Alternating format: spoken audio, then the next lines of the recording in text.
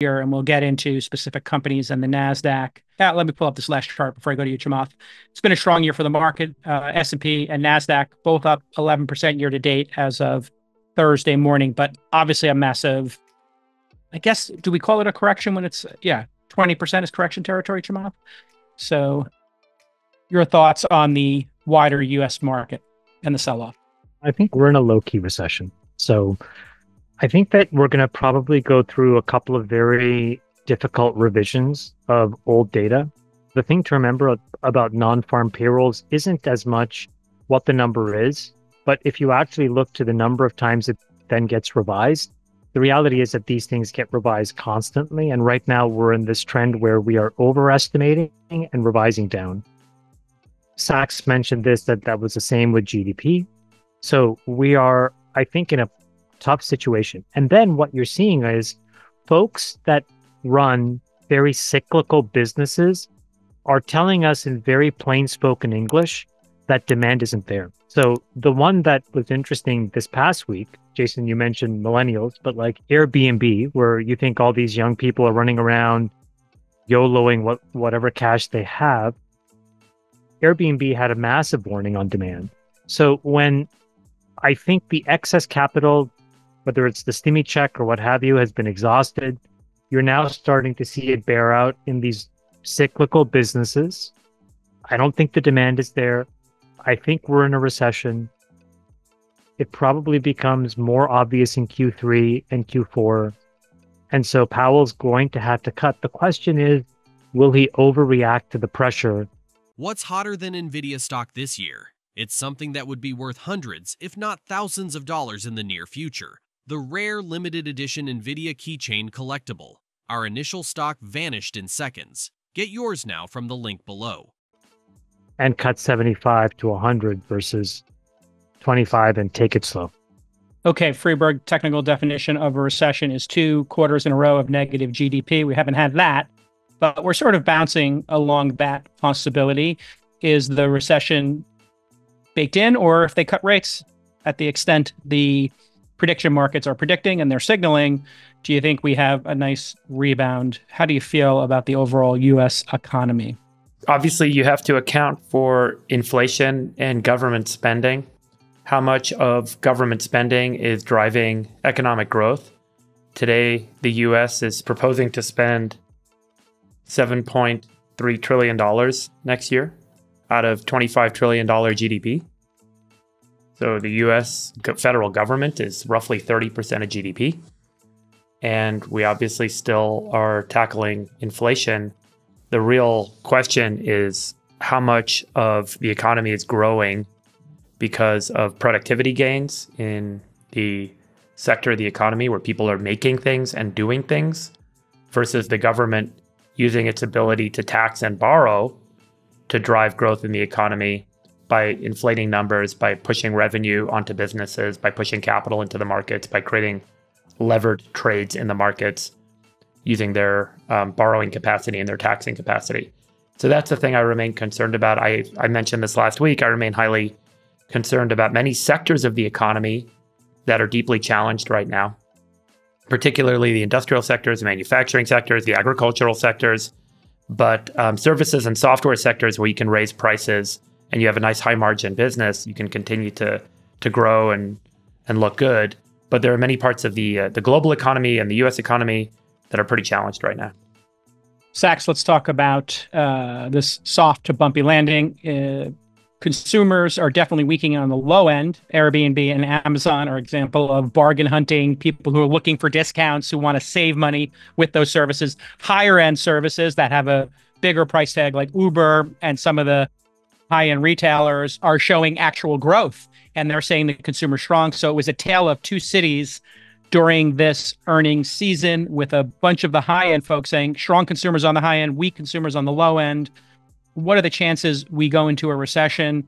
And, you know, a second question for you Elon was recently on Lex Fridman for, I think, uh, eight days or something. It was like a record podcast of how long he was on. But one of the things he talked about was that he had discussed with Trump and Vivek has been very strong about this on our podcast and other places. Uh, and he was a leading VP candidate of making the government more efficient and radically cutting the amount of spending. But there would be a reaction. So, does the uh, potential GOP administration have a platform to cut costs massively or not? And do you think that you know that would have been maybe too unpopular to to sort of unveil that plan now as a as a presidential candidate in either party? I don't think they have that plan specifically because I just think that you would need you would need a supermajority in Congress to do something like that, and I just think that this election's going to be too close, regardless of who wins, to provide that kind of mandate. I mean, sadly, I think we do need to get government spending under control, but I think it's a long term political problem, and I just think our political system doesn't have the will to fix it. I, I do believe Republicans will be better than Democrats on that, but I think that's the truth of it. To go back to your first question on the state of the economy, I had lunch with a very prominent investor yesterday who's very plugged in with the hedge fund community. And he said that the sentiment shift, you know, I'd say again within hedge funds, professional investors, public market investors, had been very sudden, that people were now very worried about the risk of a recession. Airbnb stock went down 15% in, in one day on soft demand. And what's driving all of this is, is consumer weakness, or at least fear of consumer weakness. You mentioned the rise in unemployment. It went from 4.1 to 4.3% month over month. So 4.3 is still a pretty low number by historical terms, but to jump so much in one month, that's a pretty big increase. And then, of course, it's up from 3.5% a year ago. So we're seeing pretty big increases in unemployment. 10% year over year, 5% month over month is very significant. Yeah. Yeah. So these are big changes. There's real evidence of, of consumer weakness. And I think professional investors are, are getting quite worried about uh, the risk of a recession. And I guess just one last point on this is that if you were to remove the impact of government spending, it's pretty clear the private sector is in a recession. I mean, like we've been talking about, government's been going hog wild with spending. We have the government is running six percent of GDP deficits. Uh, the the latest Q2 growth number was something like two percent. So if you force government to live within its means and to cut its way back to balance, we would definitely be in a recession. We'd have a negative growth rate. Uh, so I do think that the economy is looking pretty shaky all of a sudden. Uh, whether we actually tip over into recession in the next few months, I'm, I'm not sure. All right. Well, listen, I want to corner everybody here with a question. You got to answer the question. You you can't uh, avoid the hard questions here on the All In podcast. Chamath, sitting here a year from now, market up or we experience a recession defined as two quarters of negative GDP. Which one is the more likely scenario? Market up or a recession? Give it a percentage or just which is more likely? Friedberg, you're next. Well, those so are not those are those are not opposing things. So you're saying okay. in a year from now? I don't I don't honestly know. Okay. But I do think that we'll probably be in a technical recession. Okay. So you lean towards I'll just go recession, no recession in the next year. Um, but I also think that there's a pretty decent chance the market will be up.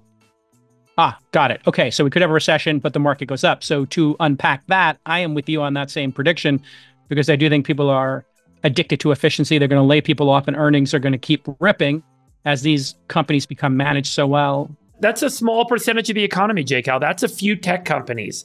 But much of the manufacturing sector, the industrial sector, the ag markets, like there's a lot of markets where you don't have this option to just cut knowledge workers. The knowledge worker economy, the software economy has the ability to do that. The tech economy can do that. But much of the rest of the economy doesn't have a lot of maneuverability like we do in this in this fast growth. Well, high margin yeah. kind of industry we work in. I think it's a good point, but I do see McDonald's, Starbucks, and some of those consumer retailers are taking steps right now to right size their businesses and offer $5 meals or $3 coffees. So I do think there's a shift in management and how they run these companies. That's about reduced forecast, right? So when their revenue decline, when their revenue forecasts have to be cut, they have to cut headcount. That's different than creating more efficiency. Well, but they're also cutting stores and they're I mean, cutting are, things are, and yeah, yeah, projects that, that, are inefficient. So I just think there's going to be massive efficiency in all sectors. That's going to be the theme for the next year. But I mean, it's obviously that's that's a loss of this. jobs and a loss of growth, right? So just to be clear, when you cut stores, you have less growth. When you cut jobs, that's because you don't have as much revenue growth. So those are about but earnings can go up, right? They can be supported, but you're still facing contraction. And you know, one of the challenges right now, a lot of food companies, a lot of retail companies have been raising prices to try and keep earnings going up. But there's hitting this natural inflection point where consumers no longer buy, where you find this tipping point. I don't know if you guys have been to the supermarket lately, but man, it is crazy expensive how, how like prices have gone up like 50 to 100% on like everything at the mm-hmm. supermarket. And this is like it's basically impossible. We can afford it. We, we can deal with it, but like a large percentage of people, this is a big deal in terms of like now you have to budget your life and you spend less. Nat and I, when we're here in Portofino, we go in the morning to the fishmonger and we'll buy, you know, fish for the family. It is unbelievably expensive. And, you know, we always think to ourselves, how is it possible that folks can actually choose to eat healthy and local if they want to? It's next What was a to branzino? impossible. What was a whole fish? Tell us. You know, like if, if you want to have like locally caught sole, it's like 48 euros a kilogram. Wow. Okay. And like it's expensive. And wow it's like expensive feels like for more all than a restaurant. Of, so to, to feed a family of seven, which is what we are, you'll have to spend, you know, 150 $200. It's not sustainable. It's not something that can, that makes sense for enough people anymore because that probably used to be 40 bucks or 30 bucks. But Friedberg is right. Like we're in a real serious problem because it's, it's like these systems have remained the way that they have been for a very long time. And while other industries like the tech industry have captured all these incredible efficiencies, but the problem is that then these other industries are what supports everyday people's everyday lives. And in the absence of a way to actually reduce cost and improve quality, you end up where we are today. And I don't think that that's sustainable. Friedberg, greater chance of a recession in the next year or not a recession? You have to give an answer. Yeah, I think there's a great chance of a recession. Yeah, majority chance of recession. Got it. But I do think that there's going to be uh, government programs to mitigate the effects, meaning you could see the markets, the equity markets, continue to rally okay. on some of the government uh, programs and government activity, which has become kind of like the learned behavior. It's like Pavlovian.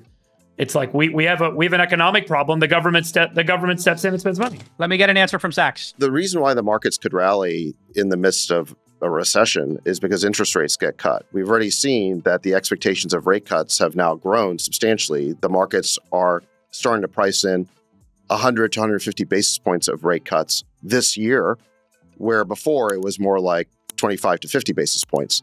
So obviously, lower interest rates make stocks go up. So I think that's the, the main driver of the rally you're seeing right now, J. Cal, not the prospects for increased efficiency, because I think th- you know those prospects were already there. So are you majority case recession or, or majority case not recession in the next year? I've been predicting recession for like three years now because I just think when you jack up interest rates so suddenly, so violently, you get recession. So I guess I, if I ha- if you pin me down, I'd say I recession.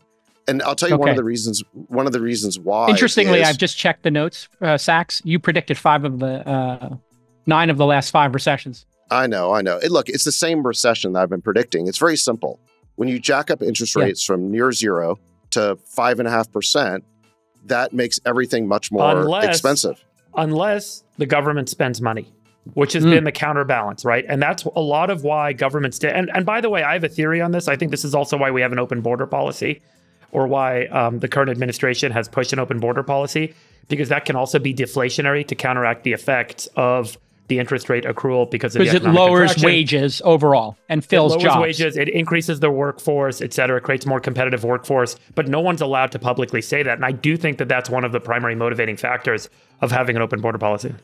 Well, people have been saying it. I think you just did. It's well said. If you look at job creation over the last four years, there's been no net new job creation for native born Americans. All the job creation has been foreign born or because native born Americans know, have too high of a wage expectation. That's the fundamental problem, right? They're, and too, they're saying, too affluent. I agree. Yeah. I don't think it's too high. Right. And I'm not making an I argument one horrible. way or the other. I'm just highlighting, I think that this is one of the motivators for the policy. I think it'd be a lot better to let their wages rise. But in any event, let's not get political on it. Just to the point about recession, Jason. I mean, yeah, look, yeah. I've been predicting the same recession. But I think one of the reasons why it might finally come now, eh, first of all, you've got a lot of investors are suddenly worried about it. There's been a big sentiment shift. I think the other thing is I don't think we know all the bad news yet. Mm. Unknown unknowns. Yeah. Well, n- none of us were tracking the yen carry trade like very. I mean, it was something we may have heard of, but it's not like we were actively thinking about it until this past week.